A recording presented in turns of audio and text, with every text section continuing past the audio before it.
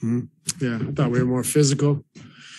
Um, you know, we were we were more locked in to start the game. I, you could see the energy and commitment. Uh, the connectivity was there, and uh, you know, held them in 25 or under the first three quarters. This was uh, really solid.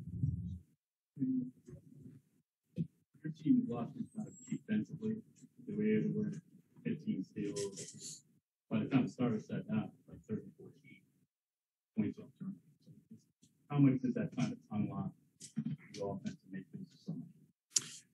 Yeah, I mean, for me, it's it's great when we can turn defense to offense. You know, we can be, um, you know, punishing in transition, but really, it's just about getting stops. You know, that's the number one thing. So we don't have to force a lot of turnovers. Um, you know, it's more about that commitment, that physicality, and finishing possessions with rebounds. And if you know, if we happen to get steals on the night and can run out and score, that's a bonus. But really, we're just looking for that commitment, that physicality, and and that purpose defensively. And I think when we do that, we're a different team.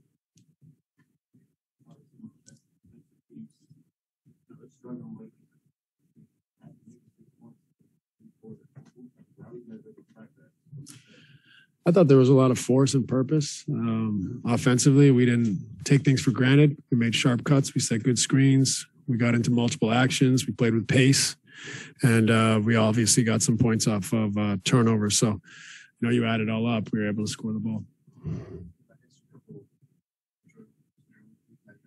Playoff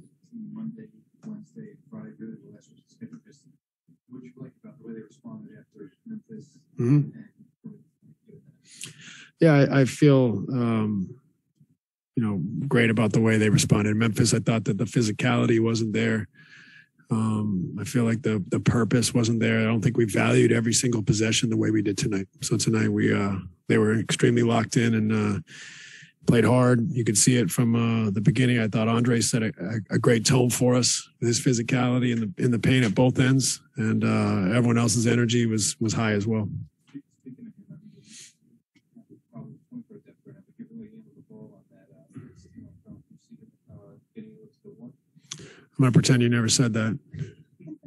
With the, I mean, obviously Andre did what he did, but I mean, six minutes weren't long, but it's fair to say they were huge. I mean, first part of the first quarter, the defense wasn't excellent. Mhm. When they came in that five minutes that he gave, Yeah. Shane I, I thought Nick was great. I don't think that's an indictment on Andre. I thought Andre was fantastic, but our team defense grew uh, after the first six minutes. Uh, so I think both uh, Andre and Nick were, were were really good tonight. Really had an impact at both ends and uh, played with great energy and, and commitment. Yeah, it's uh, it's obviously a luxury. You know, it's better than uh, playing 40 minutes and going down to the wire. But uh, still um, got to do it again tomorrow. We'll get in at three in the morning and, and got to get ready to play tomorrow night. So um, you know, there's no excuses. We, we'll take the uh, the few extra minutes we are able to rest, but uh, got to get up and uh, get our bodies going tomorrow evening. Uh, yeah, that'd be great. I mean, if we can, uh, you know, have a have a you know a crowd that's that's ready to go, and our guys would be excited to have them at home. That that would, that would give us a lift as well.